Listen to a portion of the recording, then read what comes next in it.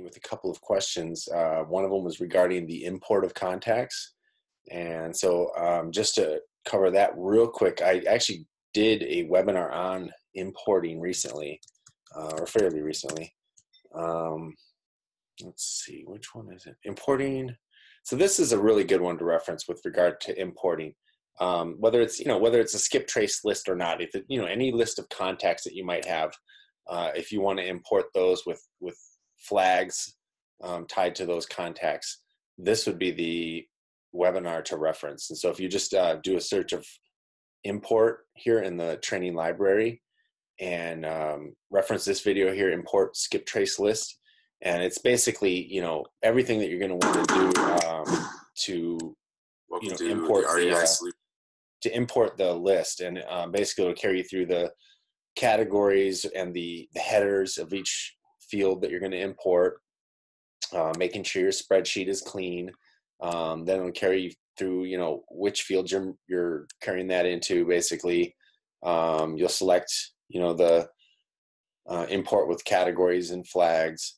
Um, then you'll be able to map each of those pieces from your data to the correct field, and um, making sure, you know, if that if it doesn't connect, you know, it'll give you the option to map it correctly there. Um, and so there's an example of you know where you can select the um, field that you're going to be mapping the data to. Um, in most cases, if the header is correct, then like back here, if you're working on your spreadsheet, if the header is correct, then and it matches exactly the um, name of the field in the system, then it'll marry it up really exactly. Um, and then otherwise, you'll be able to um, map those ones that if, if for whatever reason the header in the spreadsheet isn't exactly the same, you know, like it was missing a word or something, um, then you'll be able to map it right here. So, anyways, I would say come to this video, and you'll be able. It'll just carry you through step by step, and and so the rather than redoing that again tonight, um, I would suggest you know doing that, and then um, tonight we'll get into a little bit more about how you can continue to organize your contacts with tags and categories, and how you can create um, workflows that will assign those tags and then how you can some of the things that you can do then once you've got those tags assigned. Um, so kind of going back to our dashboard um, again when you're looking for that import video just come to video replays and then just do a quick search for import. And it's going to be this one right here that's got the date on it. It's a, a recent webinar replay and it's you know it's about 13 minutes long so it'll, it'll take you a couple minutes but if you follow it step by step it'll help you to get those contacts imported with tags. And um, and then what we'll do now is uh, we'll go back to the dashboard and we're gonna again continue just kind of looking at ways that we can or- organize our contacts and um, you know why you want to organize your contacts around those tags and what some of the things you can do with those tagged groups you know in the workflows here they're a lot like the action sets. If you were to add a, a new workflow it has you know your text replies and your ringless voicemails your tasks your notifications your emails. All of that is under one umbrella now in, in the form of a workflow. Um, and over in our contacts you'll see we've got you know they're organized by the uh, by the tags. And so for example if you've got your no lead left behind group or you know your type of you know tag your seller tags and your buyer tags and so on and so forth um, now, tags are going to be assigned in a couple of ways. Um, you know, one way is that you know when you've got a lead coming in and it's in the inbox here, you'll see there's a chance for you to return a call, and you could assign a number to a contact. And so, for example, if we wanted to say seller uh, lead, and we can you know enter an email address. Um,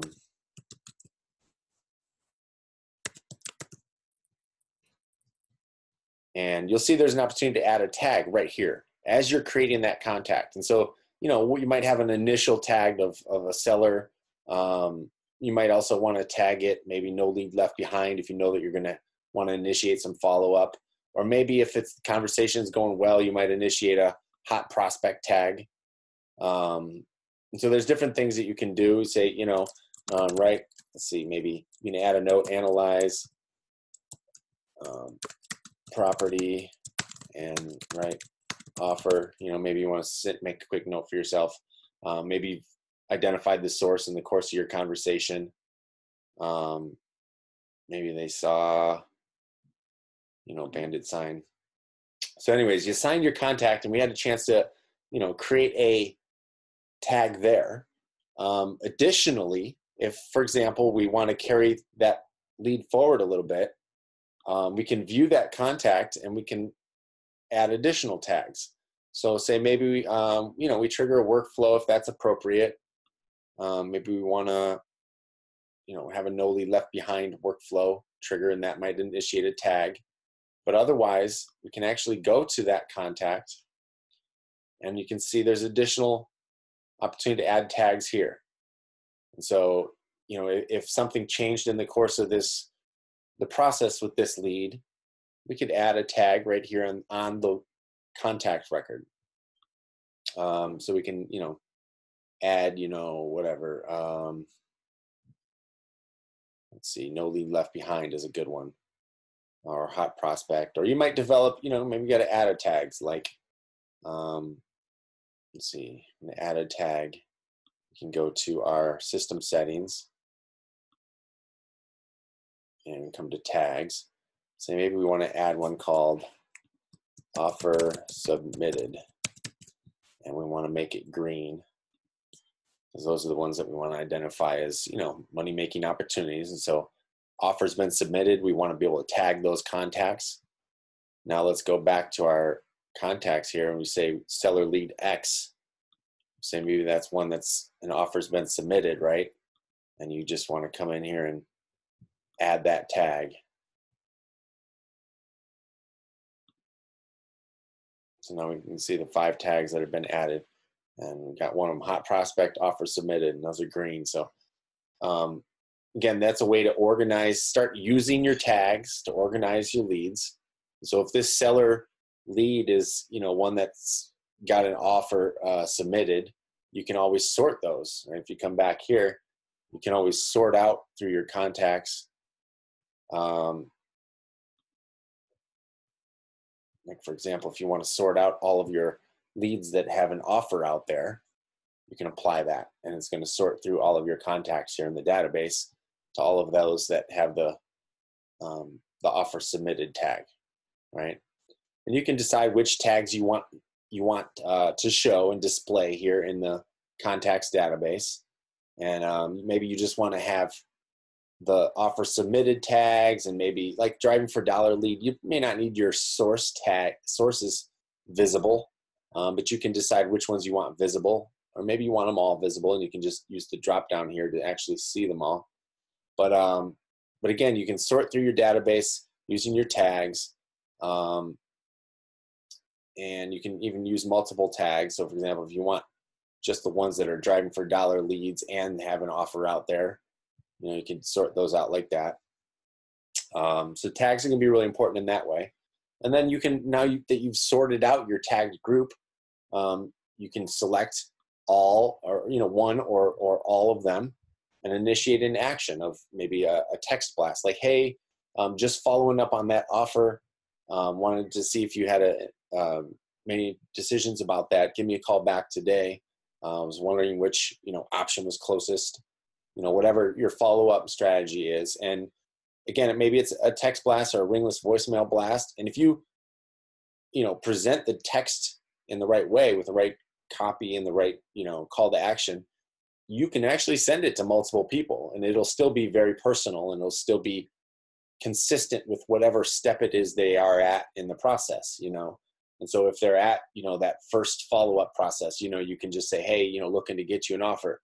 Um, but maybe they are in this group where they've the offer's been submitted you've isolated this group in your database and now you want to send them a, a, different more specific text blast or a different ringless voicemail that's a little bit more pointed in in the sense that you're following up on the offer that's been submitted right and so um, you know that that is definitely ways that you're going to want to use your tags to organize your leads um, if you've imported a big batch of contacts, like in that video that I, I referenced at the top of the webinar.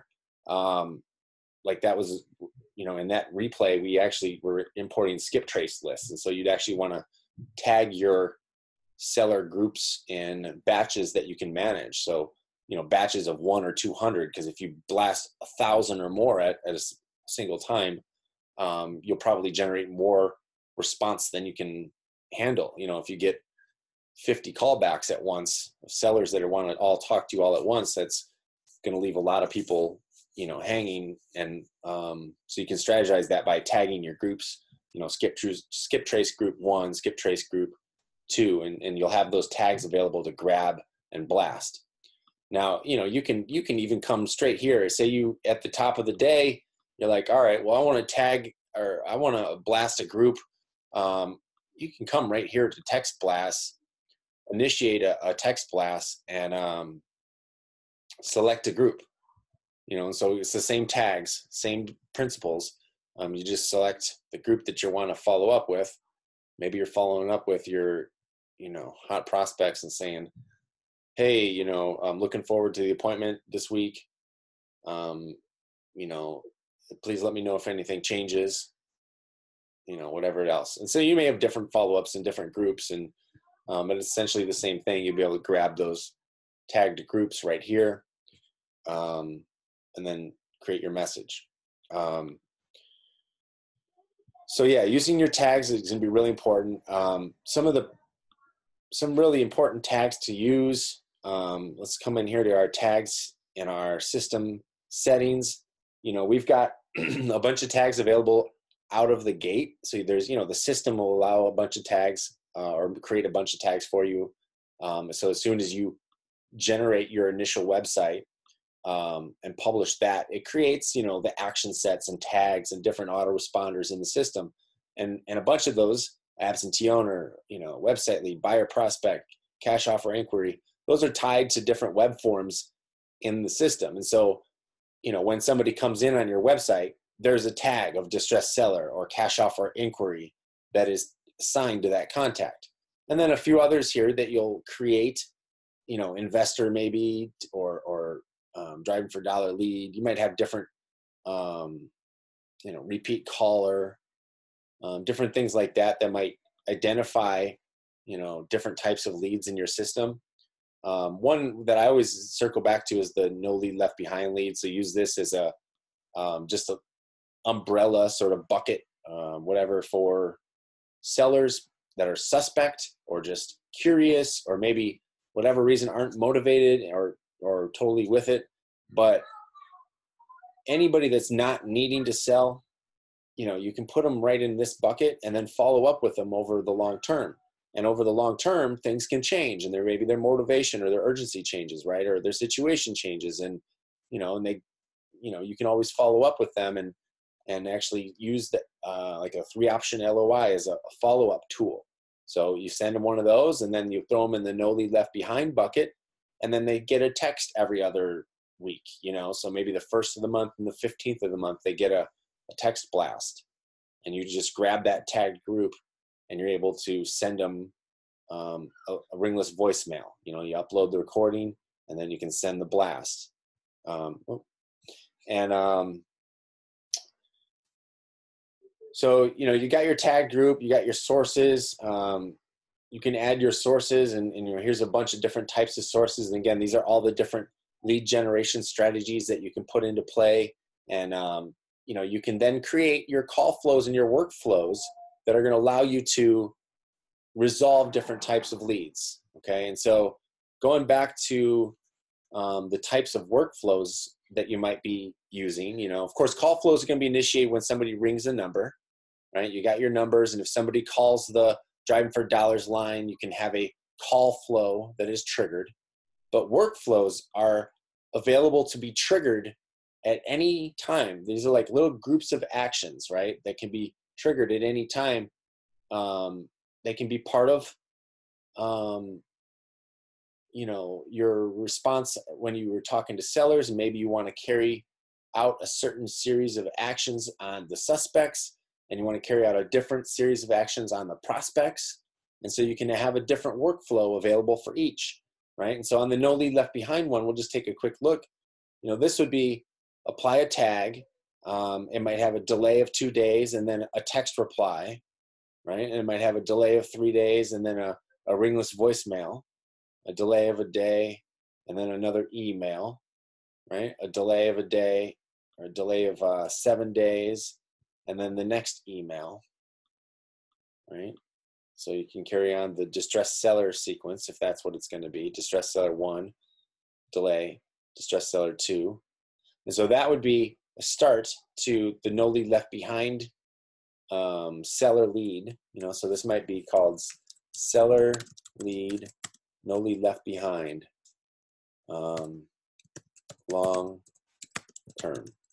So that would be like a long term uh, follow up sequence for your sellers. Now you might have one that is called seller prospect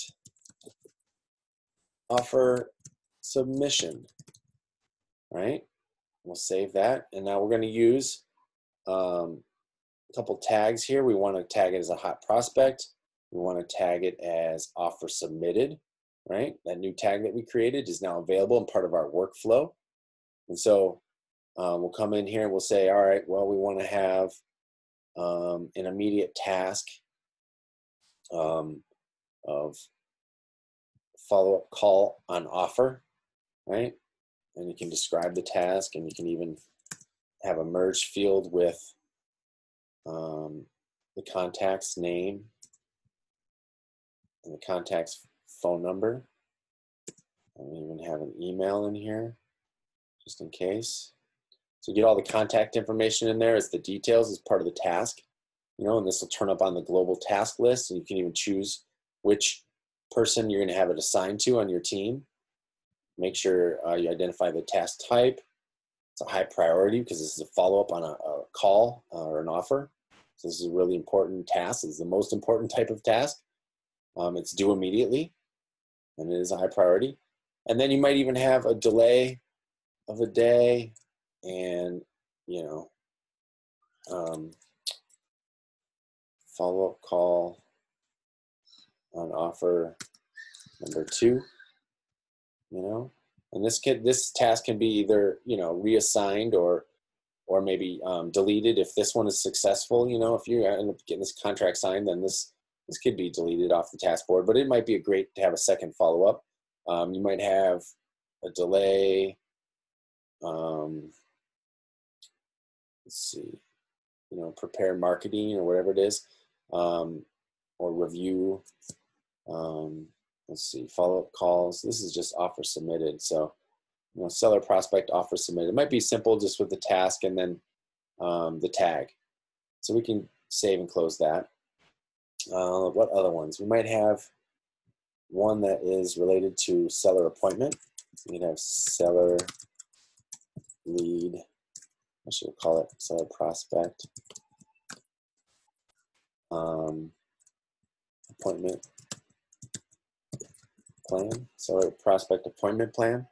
Um, so this might be you know, hot prospect, and you might even have a, a fresh tag called, you know, appointment pending or something like that. Um, and then you can have um, task of uh, analyze property for appointment right? And then you're gonna, you know, prepare rough offer for appointment. And you might have somebody that you assign that to, and it might include a letter template or something else that you prepare, um, you know, and, you bring to the appointment. It might include uh, priority, make it a high priority. Um, you know, you might have a couple of other tasks there. You might have a notification to a sales associate um, that the appointment's been made. That's a really good one. You know, so uh, uh, let's see.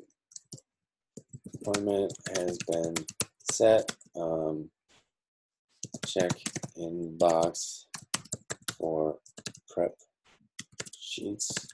You know, so you might have something sent and prepared, and this might be a text notification to your sales associate.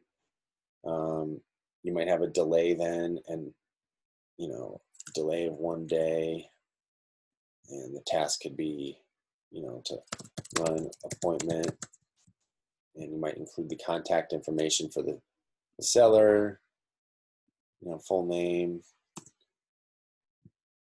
contact info for the seller. You can choose who that's assigned to. You may not have a task type, but it's a high priority. Um, might have a delay of a day, and you know, another task would be then follow up call on offer. You know, because if if they had the appointment, then they'd most likely, you know, left an offer, run appointment, and leave offer or free and then if they've done that, there's a, you know follow up call, you know, send thank you note and execute initial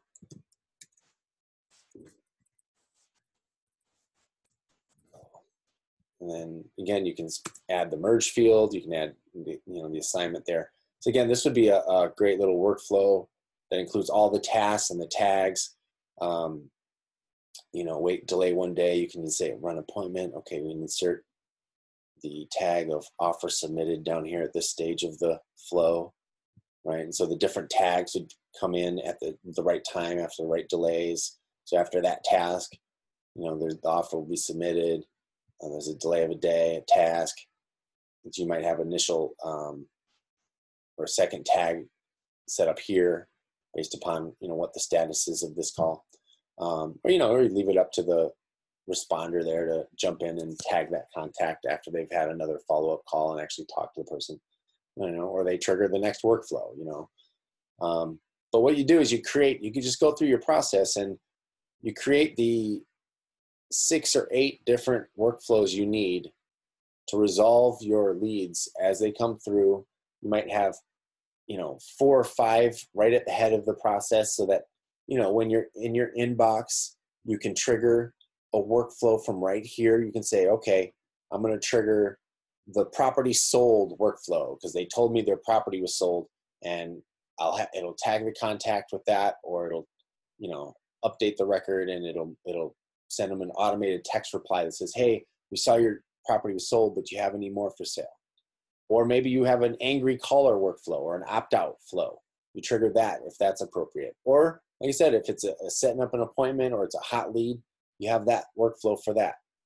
Um, and then additionally, as you're carrying those leads through the system and you're dealing with those sellers and you're you're carrying through um, different activities, like if you're you know you've added the property here and you've updated tags and now you've gotten an accepted offer, well maybe you're going to say you're going to trigger an offer accepted flow and that gets the marketing started you know when there's a series of actions there um, you know and so you'd be able to just you know jump right over to the property in the pipeline and boom start hammering out those tasks and so you may have a, a, series of workflows that you trigger from here um, they carry the leads through at different points and um, you know they can start out really simple and you they can be evolved you know because you can always come right up into your system settings and you can just go to your workflows um, and you can create those right there. It's just add new workflow and say, okay, what's the what step is it, and what you know, what are the three processes or whatever that I want to execute to make this happen. Um, so I hope that helps.